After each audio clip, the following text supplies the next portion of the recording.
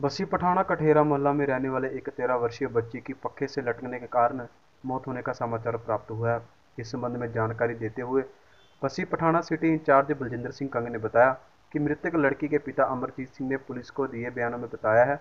कि उसकी पत्नी दिमागी तौर पर परेशान थी और गत तीन वर्ष पहले घर छोड़कर कहीं चली गई थी, जो कि वापस नहीं आई। इस कारण उसकी बेटी, जो कि नौवीं कक्षा में पढ़ती है दिमागी तौर पर परेशान चल रही थी जिस कारण उसकी बेटी द्वारा गत रात मानसिक परेशानी के चलते पक्के से लटक कर ਅਮਰਜੀਤ ਸਿੰਘ ਵਾਸੀ ਕਟਹਿਰਾ ਮਾਦਾ ਬਸੀ ਪਠਾਣਾ ਨੇ ਪੁਲਿਸ ਨੂੰ ਇਤਲਾਹ ਦਿੱਤੀ ਕਿ ਉਸਦੇ ਘਰ ਵਾਲੀ ਨੇਹਾ ਜੋ ਦਿਮਾਗੀ ਤੌਰ ਤੇ ਠੀਕ ਨਹੀਂ ਸੀ ਤਿੰਨ ਚਾਰ ਸਾਲ ਪਹਿਲਾਂ ਘਰੋਂ ਬਿਨਾਂ ਦੱਸੇ ਚਲੀ ਗਈ ਸੀ ਤੇ ਮੁੜ ਕੇ ਵਾਪਸ ਨਹੀਂ ਸੀ ਆਈ। ਜਿਸ ਕਰਕੇ ਇਸ ਦੀ ਲੜਕੀ ਜਸ਼ਨਪ੍ਰੀਤ ਕੌਰ ਉਮਰ 13 ਸਾਲ, ਜੋ 9ਵੀਂ ਜਮਾਤ ਵਿੱਚ ਪੜ੍ਹਦੀ ਸੀ, ਵੀ ਪਰੇਸ਼ਾਨ ਹੋ ਗਈ ਸੀ।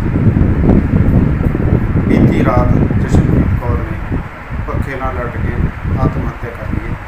ਤੇ ਜਿਸ ਤੇ ਅਮਰਜੀਤ ਸਿੰਘ ਦੇ ਬਿਆਨ ਤੇ ਕਾਰਵਾਈ 174 ਸੀਆਰਪੀਸੀ ਅਮਲ ਵਿੱਚ ਲਿਆਂਦੀ ਗਈ ਹੈ ਤੇ ਲੜਕੀ ਦਾ ਪੋਸਟਮਾਰਟਮ ਕਰਾ ਕੇ ਅੰਤਮ ਸੰਸਕਾਰ ਲਈ